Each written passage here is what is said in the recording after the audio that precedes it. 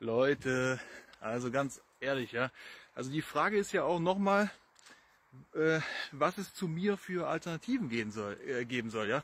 Also ich meine, was, wer soll alternativ was machen und vor allem auch wie, ja. Also pff, es ist doch logisch, ja, dass ich völlig authentisch bin, ja. Äh, andere Leute hier, wie die auf Instagram oder Facebook unterwegs sind, ja, die, äh, da kannst du ja die Authentizität Authentizität ja äh, äh, mal suchen, ja. Also das gibt's gar nicht. Und ganz ehrlich, die haben da ihre Studios, machen das professionell dann zu zwei, drei Leuten. Das ist für mich überhaupt nicht authentisch, ja. Ich bin real, ich bin echt hier, ja, ich schmink mich nicht, bin ganz natürlich, ja, ich brauche kein Make-up oder kein Make-up-Artist oder sowas, ja. Meine Haare schneide ich selber, ich bin 100% self-made, ja, und nicht nur irgendwie 80% oder 50%, ja. Und meine Authentizität, ja, die ist einfach in Perfektion vorhanden somit, ja. Das ist mal ganz sicher.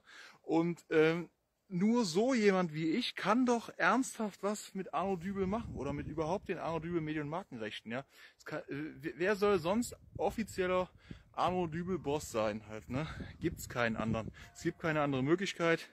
Ich bin 100% authentisch, real und oder real hier für für echte Deutsche und ähm, das ist doch ordentlich, ja. Also ganz ehrlich, Sucht euch mal sowas und fragt euch mal selber, wer es sonst machen soll.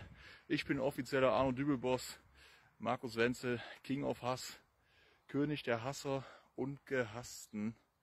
Hier gerade unterwegs auf dem Grundstück in purer Vollsonne. Ja, es ist wirklich traumhaftes Wetter und ganz ordentlich.